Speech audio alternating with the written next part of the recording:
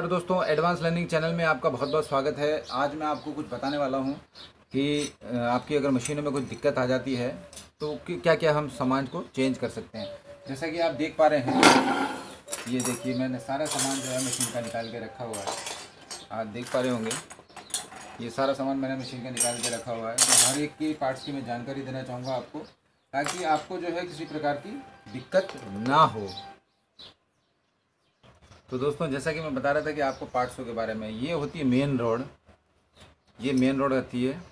यहाँ पर जो हमारी इसके ऊपर कनेक्टिंग जुड़ी हुई होती है कनेक्टिंग रोड ठीक है दोस्तों? और इसके ऊपर हमारा चिमटा लगता है। जैसे कि आप देख पा रहे हैं, मैं दिखा देता हूँ आपको। देखिए दोस्तों जब भी आपकी बारीक सिलाई आती है, जितनी भी मैंने वीडियो बना चुका हूँ, उसके अंदर आपने सारा प्रयत्न कर लिए हैं कि अब क्या करें? अब तो हमारी जो मशीन जो है, बहुत भारी धागे आ रहे हैं तो क्या किया जाए? छोटी सिलाई बड़े से बड़े हमने लीवर ऊपर कर दिया दांतें सेट कर दिए उसके बाद भी दिक्कत आ रही तो ये देखिए। ये जो चिमटा है ये हम चेंज करने के बाद देखिए चिमटा जो है पहली बात तो ये लूज़ नहीं होना चाहिए। अगर ये लूज़ होगा इसके अंदर ये लूज़ होगा तो आपकी बारीक सिलाई आएगी। ये जैसे आप फुल यस इस तरह से लीवर को करके देखिए चिमटे को। इस तरह करके देखिए दे, देख रहे हैं ये उभरा हुआ हिस्सा है। तो जैसे ये इस तरह जाएगा तो थोड़ा सा लूज़ पड़ेगा लेकिन जैसे इसको यूँ घुमाएँगे इस इस आकार में, देखिए कि ध्यान से। मैं बताना चाहूँगा, देखिए। ये जैसे आप बताएँगे, ये इस तरह से देखेंगे तो आपको लगेगा, देखिए जैसे कि ये टाइट थोड़ा मतलब लूज होना चाहिए, लेकिन अगर ज़्यादा इसमें प्ले होगी तो आप चिंटा चेंज करिए। और ये जो केम होती है, ये वाली, दोस्तों, अगर ये घिस जाएगी तो आप कितने जतन कर लीजिए, बड़े धागे आने वाले नहीं हैं। क्यों? क्योंकि कई ये दिक्कत आती है जो पुरानी मशीनें हो जाती हैं, कई तो जिसमें घिस घिस के हम तेल नहीं देते हैं, या पुरानी मशीन हो जाती है तो ये आपको बुश चेंज करना अनिवार्य हो जाता है। जिसके लिए हमको ये लट्टू निकालना पड़ेगा। लट्टू।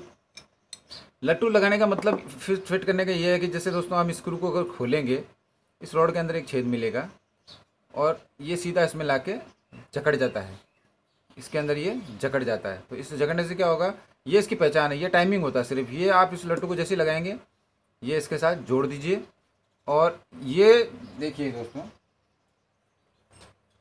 ये इसकी कनेक्टिंग है। ये कनेक्टिंग है। मैं आपको दिखाना चाहूँगा देखिए कैसे लगती है ये। ये इस प्रकार से इसमें हम फिट कर देते हैं। इस प्रकार से। दोस्तों मेरी वीडियो को लोग बहुत इंतज़ार करते बोला सर वीडियो बनाते हैं नहीं हम इंतज़ार करते हैं आपकी अ, वीडियो का, अब ये देखिए दोस्तों, हमने इसको, ये इस तरह से ये इसमें घूमता है। ठीक है थोड़ा सामान नए हैं इस वजह से? उल्टा सीधा की वजह से आप ध्यान रखिएगा। उल्टा सीधा लगा देंगे तो ये घूमेगा नहीं। अभी मैं आपको घुमा के दिखाता हूँ, देखिए। ये इसका मूवमेंट होता है। ये जैसे जैसे ये मूवमेंट करेगा, ये क्या करेगा? हमारे गट्टू को घुमा, ये सॉरी हाँ गट्टू को घुमाता है ये। जो जो ये गट्टू होता है, गट्टू के अंदर यहाँ ये लगा होता है, इस प्रकार से, ये देखिए। ये इस प्रकार से लग ये घूमेगा तो गट्टू ऊपर नीचे ऊपर नीचे ऊपर नीचे होता है। ये ऊपर नीचे होने से क्या होता है? फिर उसके बाद जो हमारे करियर रोड है, करियर, ये करियर रोड, ये घूमती है इसके ऊपर। इसके ऊपर ये उन्नीस सौ सत्तावन लगा हुआ होता है, ये इस प्रकार से, इस प्रकार से लगा हुआ होता है। ठीक है दोस्तों? ये इस प्रकार से लगा हुआ होता है और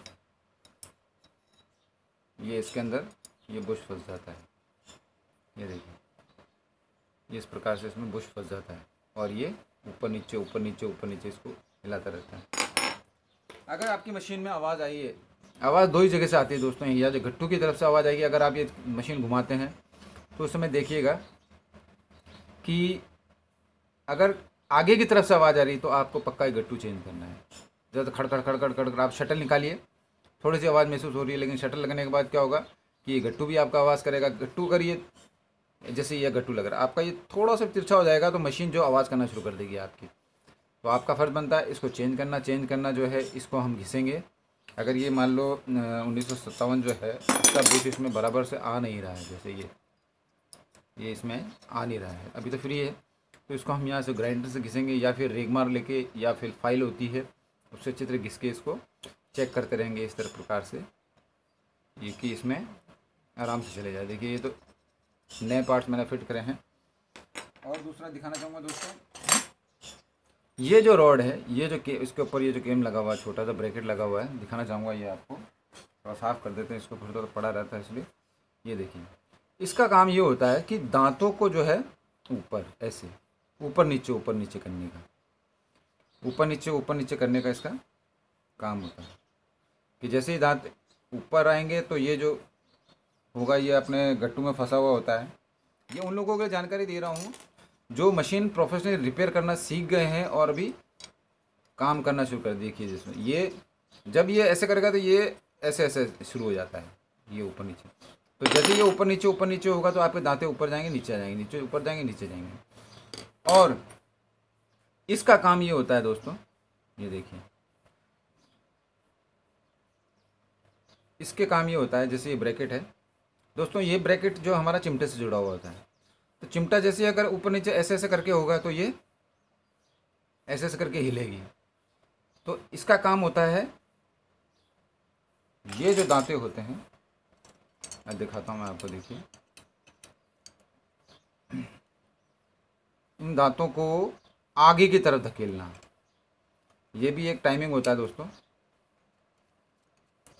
देखिए, ये क्या करेगा? जब ये इस तरह करेगा, जैसे ये आगे गया तो वो जो इस जगह जो ब्रैकेट लगा था, ये मैं आपको बता रहा था, ये वाला देखिए।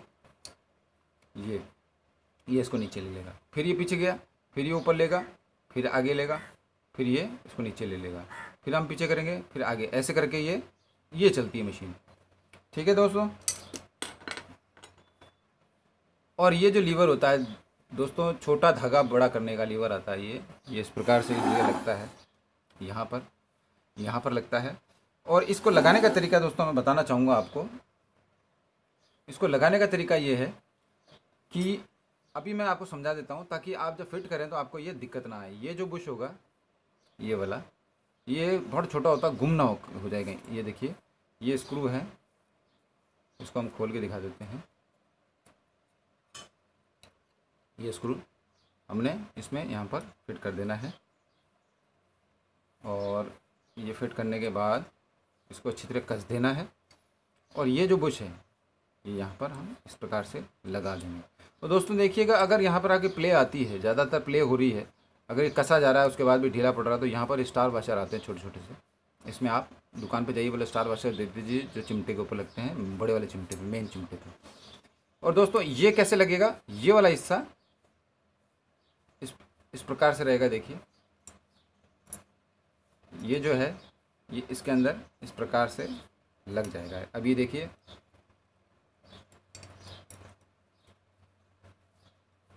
अब ये जो है, नया है दोस्तों तो इस प्रकार से इसको लगने में थोड़ी दिक्कत आ रही है। तो इसको क्या करेंगे हम? ये वाला नया है तो अब इसको फिट करने के लिए क्या करना पड़ेगा? इसको थोड़ा, थोड़ी तरफ़ से ग्राइंड करेंगे। यहाँ से यहाँ से थोड़ा घिस दिया, यहाँ से घिस दिया, इसमें डाल डाल के हम चेक करते रहेंगे। जैसे ये इसमें जा नहीं रहा है तो दोस्तों, आपको क्या करना है इसमें? इसको घिस घिस के यहाँ से घिसा, घिसना है, फिर यहाँ से घिसना है, फिर इसको हम इसमें फिट कर देना या फिर आप फ़ाइल लेकर इस कोने को घिसिए। ये जो कोने हैं ना, ऐसे, मैं एक मिनट दिखा देता हूँ आपको। ये देखिए, इस तरह की फ़ाइल आती है। तो हमको इस तरह से रखना है, यूँ, इस प्रकार से और इस तरफ़ रख के एक बार इस तरफ़ से फिर एक बार इस कोने को घिसना है, एक बार इस कोने को घिसना तो क्या इससे ज़्यादा तो दोस्तों, इससे क्या होगा, आपका जो है छोटे बड़ा, ये जो आराम से इसमें फिट हो जाएगा। लेकिन अभी क्या है, हम काफ़ी, ये देखो, अभी ये चला गया इसके अंदर। ये, चला गया है। तो आप थोड़ा थोड़ा घिसेंगे इसके अंदर तो ये आराम से फिट हो जाएगा। और इसके बारे में बताना चाहूँगा। ये जो चीज़ होती है, ये आपका साइड पैनल होता है साइड कवर होता है। इसके अंदर देख ध्यान से ध्यान रखिएगा थोड़ा। ये देखिए, ये जैसे स्प्रिंग है, ये वॉशर है, ये वॉशर है। एक दोस्तों एक कट वॉशर और आता है, वो इसमें है नहीं। सबसे पहले ये ध्यान रखिएगा, जो काम कार्यवाही होती है, इसकी होती है। इसके अंदर एक कील आती है दोस्तों।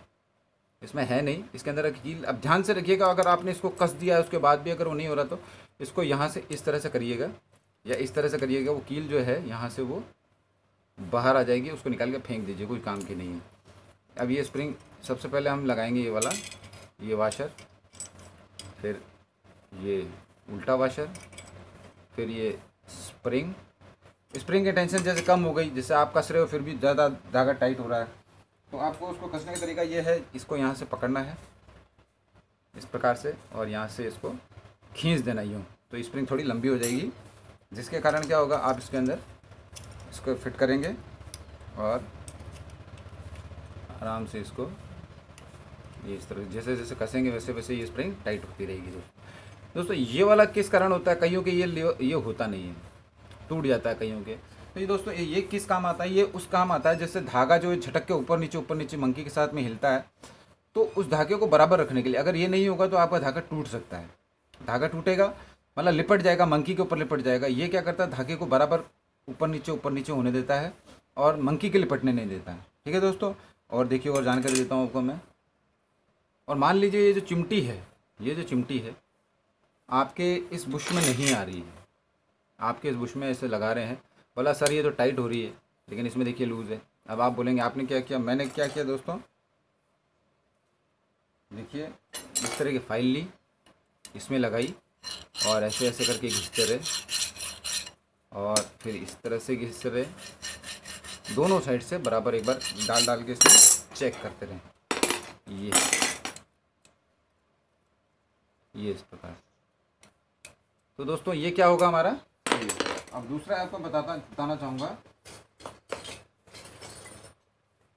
ये जो हम धागा भरते हैं इसके अंदर देखिए। इसकी ये रबड़ क्या है? सूख चुकी है। सबसे पहले आपको क्या करना है? इस रबड़ को चेंज कर देना है, अगर आपकी ग्रीम धागा नहीं भर रही उसके बाद भी एक आता है इस तरह का, एक एक दोस्तों इस तरह का आता है, एक आता है जहाँ स्क्रू होता है। स्क्रू अगर धागा आप ऊपर वाला स्क्रू ज़्यादा कस देंगे तो ये चिपक जाएगा जाके, और आपका धागा, ये व्हील घूमेगा नहीं और मशीन भी भारी चलेगी। ठीक है दोस्तों, अब इसके अंदर क्या करना है? इसको हम रबड़ चेंज करेंगे तो आपकी जो धागा बनाने वाली, भरने वाली मशीन है, वो आपकी सही हो जाएगी। बनस्पत इसके ऊपर तेल नहीं लगाना चाहिए। अगर इसको अगर मान लो तेल लगा दिया आपने तो क्या होगा? आपकी जो मशीन है, वो धागा स्लिप होना शुरू हो जाएगा। और दोस्तों, ये देखिए शटल है। इसको साफ़ करना मैं बता चुका हूँ किस प्रकार से साफ़ करते हैं। और इसको जैसे टाइट चल रहा है इसके अंदर, आप सर्च करिएगा एडवांस लर्निंग चैनल न्यू हाँ new shuttle adjustment. New shuttle को किस तरह फ्री किया जाता है, वो मैं बना चुका हूँ एडवांस लर्निंग चैनल और आपकी प्रॉब्लम लिख दीजिएगा। दोस्तों, आप मेरे को कमेंट करते हैं, लेकिन आप मेरे चैनल का नाम लिख आपकी प्रॉब्लम लिख दीजिए, आपके सारे प्रॉब्लम सॉल्व हो जाएगी। ठीक है दोस्तों? और बाकी कोई क्यूरी होती है तो आप मेरे को कमेंट करिएगा। और एक चीज़ और बताना चाहूँगा दोस्तों आपको, जैसे ये है, क्या होता है? हमारी जो मशीन होती है, जैसे ये रॉड आती है, ये है ज़रा ज़ीरो नंबर की, इसके ऊपर आपको नंबर दिखाता हूँ मैं आपको। ये है स्टैंडर्ड साइज़ की इस पर कोई भी नंबर नहीं है। फिर इसके ऊपर आधा इंच की आएगी, फिर एक इंच की आएगी, फिर डेढ़ इंच की, फिर दो इंच की, फिर ढाई इंच की। ढाई इंच के बाद आपकी मशीन नहीं होगी। अब मान लीजिए आपकी ये जो रॉड है, इसके अंदर हमने डाली। अब ये क्या है करी ले, ढाई इंच की हमने डाल दी। अब ये लूज़ हो रही है बिल्कुल। आगे उसमें तो टाइट है, लेकिन आपकी जो लूज़ हो रही है। तो आपको क्या करना है? ये जो बुश है, ये कुछ करना, इसको यहाँ पर ऐसे करके लेटाना है।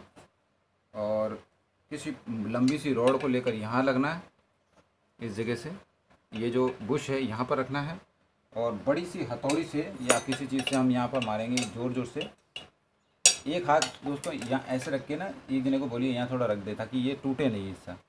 इसको ज़ोर से, आराम से टक टक टक टक टक, थोड़ा तेल दे के रख लीजिए इस जगह। इसके ऊपर तेल दे के रात भर इसमें तेल दे के रख दीजिए।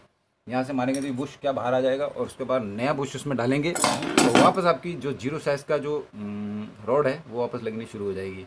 ज़्यादा ढीला हो जाए, बोले, कई कमेंट आए थे, सर, ये ढीला हो गया हमारा, क्या करें? जो इसमें रॉड ढीली हो जाती है। तो आपको उसमें ये बुश निकाल देना यहाँ से मारेंगे तो ये ऊपर से निकलेगा। नया बुश आएगा तो यहाँ पर मारिएगा धीरे धीरे ऑयल लगा दीजिए चारों तरफ़, फिर धीरे धीरे ठोक के। जो भी सामान लगाते हैं, आप तेल लगा के रखिए ताकि भविष्य में आपको वो चीज़ निकालने में दिक्कत ना आए। और दोस्तों, ये जो ब्रैकेट कहलाता है, देखिए आप देख पा रहे हैं। इसकी रोड मैं दिखाना चाहूँगा आपको। ये इसकी रोड है। ये इस प्रकार से रहता है, ये देखिए। ये इस प्रकार से रहती है।